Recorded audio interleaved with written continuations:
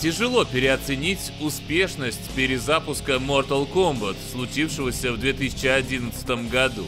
Сей релиз оказался знаковым не только для знаменитой файтинговой серии, но и, пожалуй, для всей индустрии. Да и в головах простых потребителей что-то щелкнуло 4 года назад. В итоге пришло понимание, что при правильном подходе некогда потерявшиеся, несправедливо забытые и оборвавшие контакты с аудиторией игровые проекты способны удовлетворить всех разработчиков, издателей, игроков. Вера в ремейки и переиздания окрепла, а тот самый правильный подход вслед за NetherRealm стали стабильно нащупывать и многие другие. В разрезе всех этих событий было вдвойне интересно ожидать продолжения МК. Какие приемы придумают создатели для развития, да и будет ли развитие вообще, может, Эд Бун и компания просто воспользуются популярностью предыдущей части и схалтурят? Не испортят ли картину новые персонажи, вводить которых просто необходимо? А не потеряется ли такой своенравный дух старой школы со всеми этими изменениями? В общем, вопросов и опасений хватало, чего уж греха таить. Благо, сейчас у нас уже есть ответы. Начнем с сюжетного режима, являющегося, пожалуй, лицом игры. Основная часть повествования разворачивается спустя 25 лет после преснопамятного турнира, но благодаря флешбекам мы регулярно сможем путешествовать по временной шкале и становиться свидетелями других событий. Время земных бойцов, естественно, не пожалело. Джонни Кейдж, Джакс, Соня, Кенши приблизились к пенсионному возрасту, хотя и остались способны нападать разнообразным злодеям, среди которых зачастую мелькают обращенные магией Куанчи неиграбельные бывшие добряки типа Люкана, Кабала и Найтвульфа. Во главе злой пирамиды значится Шинок, который активно рвется из своей преисподней на волю, дабы всех поработить и наказать. У Скорпиона и Сабзира, как обычно, свои мотивы, а приличное количество эфирного времени уделено новым персонажам. Отпрыском земных бойцов Кейси Кейдж, Джеки Брикс, Кунджин, Такеда, а также представителям внешнего мира – Самые заметные – император Котолкан и насекомо-женщина Дивора. Необходимо отметить возросшие масштабы действа. Мы постоянно перемещаемся из одной локации в другую и смотрим на события с различных точек зрения. И хоть сюжетку, наверное, и можно пройти за пресловутые 4 часа, факт чего активно муссируется среди игроков, Ощущение, что нас где-то обманули и чего-то не додали, все же не возникает. Другое дело, что новые центральные персонажи вряд ли могут в своей харизме посоревноваться с проверенными бойцами. Выглядят дебютанты местами пресно и шаблонно, но, возможно, во мне опять заговорил консерватор. А вот по поводу введенных в сюжетный режим QTE, даже с самым лютым противником нововведений переживать не стоит. Ведь своевременное нажатие нужных клавиш по сути ни на что не влияет. Дело ограничивается лишь вариациями анимаций разворачивающихся событий. Из той же оперы заметных, но, пожалуй, необязательных новшеств оказалась система фракций. В самом начале игры вы должны выбрать, чью сторону будете отстаивать в рамках мультиплеерной социальной глобальной войны клан Линкуэй с Сабзира во главе, криминальная организация Черный Дракон, Шаолинский орден Белый Лотос, американский спецназ и Братство Тени с Куанчи на президентском кресле.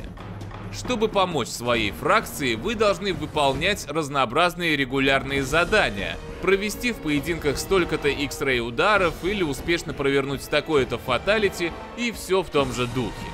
Присутствует в войне фракций система рейтингов и разнообразных ивентов, еженедельно подводится статистика и так далее, но, к сожалению, работает вся эта канитель не без сбоев.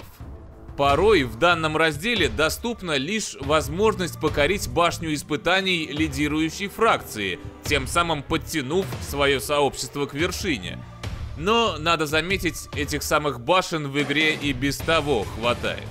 В итоге получается, что чуть ли не единственной действительно приятной и заметной особенностью войны фракций является возможность провернуть вместо фаталити Faction Kill. Каждая сторона конфликта располагает пятью подобными добивающими ударами, добавляемыми в ваш арсенал по мере прокачки пользовательского профиля. Помимо этого, в Mortal Kombat теперь вновь стали доступны бруталити, только исполнять их нужно не в момент фирменной агонии противника, а при решающем ударе, сводящем здоровье оппонента к нулю.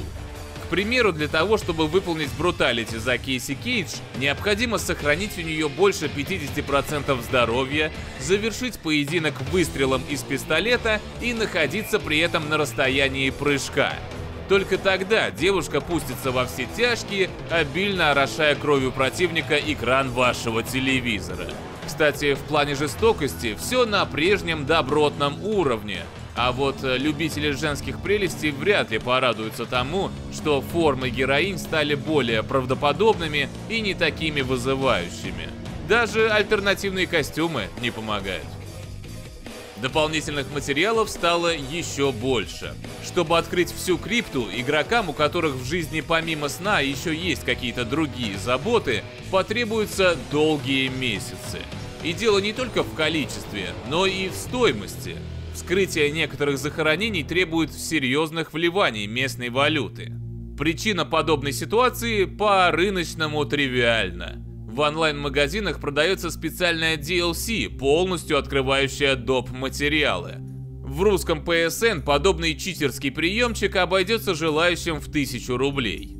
Если все же собираетесь одолеть крипту без дополнительных вливаний, готовьтесь к приключениям. Теперь этот раздел Mortal Kombat стал полноценной мини-игрой, выполненный в духе Legend of Grimrock или других данжен-кроулеров.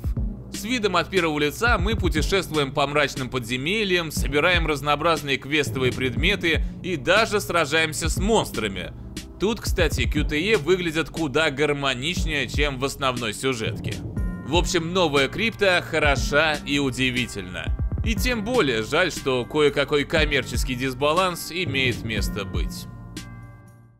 О чем еще могут пожалеть поклонники Mortal Kombat, так это о сносе 300-этажной башни испытаний. Замечательной находки, представленной в предыдущей части. Ей на смену пришли другие э, конструкции, которые башнями-то и язык назвать не поворачивается. Так, стремяночки. Хотя определенный интерес они все же представляют. Здесь нашлось место и для классических забегов по череде противников, и для многоэтажек Test Your Luck и Test Your Might, а также для новинок в виде живых башен, суть которых меняется с течением времени. В основном все там замешано на уже знакомых нам фартовых или не фартовых модификаторах. И вроде есть чем себя развлечь, но как ни крути, а трехсотка 2011 года была и разнообразнее, и эпичнее, и интереснее. Почему нельзя было дать развитие этой наработке вместо того, чтобы все переиначивать, непонятно. Схожая ситуация и с драками 2 на 2, которых вы теперь не найдете. Можно предположить, что эту особенность создатели убрали, дабы не сломать себе голову с балансировкой, которая, учитывая то, что на каждого бойца теперь приходится по три стиля боя, предполагающих наличие разнообразных спецударов и возможностей, стала бы совсем непосильной ношей.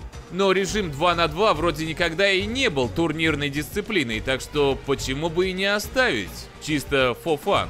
К сожалению, сотрудники NetherRealm рассудили по-другому. И да, за всеми этими размышлениями о том, что пришло, а что ушло, я совсем забыл поведать о главном. Собственно, процессе набивания морд. Воспринимается он абсолютно безболезненно, хотя кое-какие нюансы и свежие черты, естественно, присутствуют. Про систему трех вариаций для каждого участника, которая дарит весьма приятное ощущение права выбора и отчасти обманчивой возможности подогнать персонажа под себя, я уже сказал.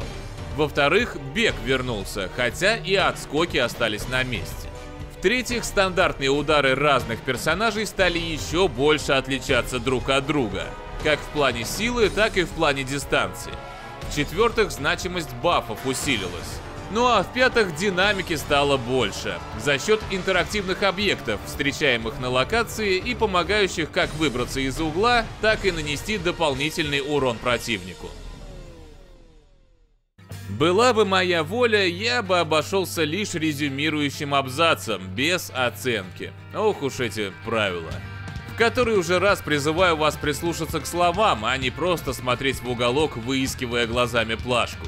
Однозначно, Mortal Kombat X не производит того впечатления, что производила игра 2011 года. Здесь есть приличное количество спорных нюансов, как то новые персонажи, дизайн интерфейса и война фракций, но также нашлось место и для очевидных и значимых плюсов, вроде таинственной крипты и ураганных бруталити.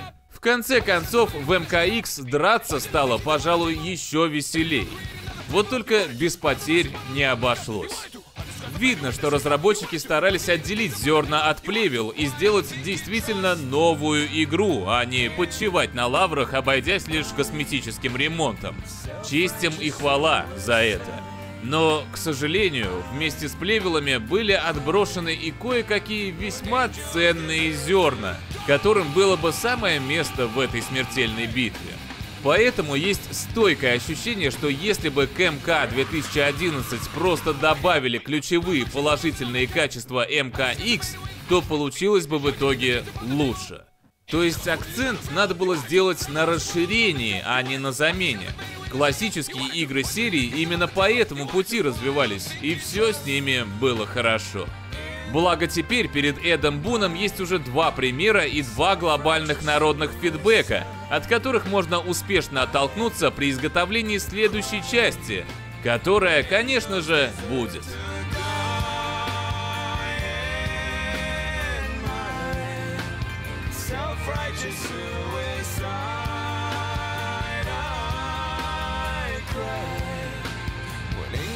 deserve to die.